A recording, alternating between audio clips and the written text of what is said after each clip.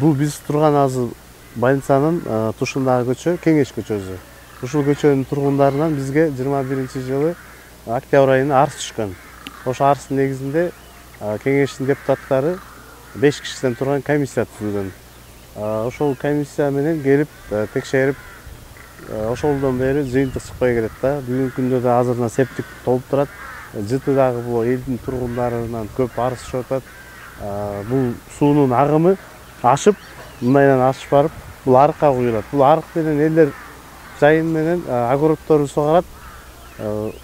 Экинчиден плиталар кубайын деп калды. Бул жака да бирөө жарым кезде басып калышы мүмкүн. Азыр экинчи септикти көрсөтүп коеюн.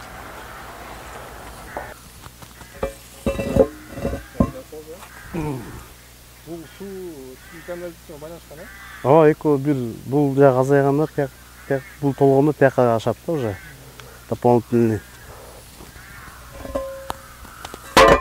Булардын баары биздин айылдын четиндеги бөлтөк деген участок бар. Ошол жерге төгүлөт ал жерден айылдын тургундары мал айдап өтөт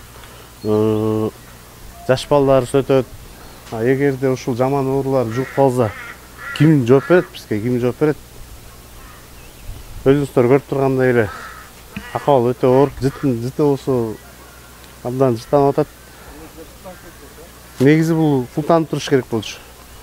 Азыр дагы бөлтөк жакты көргүзөм го. Инфекциялык неме болду ар кандай? Эки миң ар кандай болуп калат? Азыр мынакей таш ыргытып көрөм чуңкурун эле өзүңүздөр байкайсыздар мына жакын эле жерде турат. Мынакей бул жакын ала жерде эле турат. Бул жерге күнүгө машине беш ирес төгүп атам дейт. Ушу беш иреси бул жерге батпайт.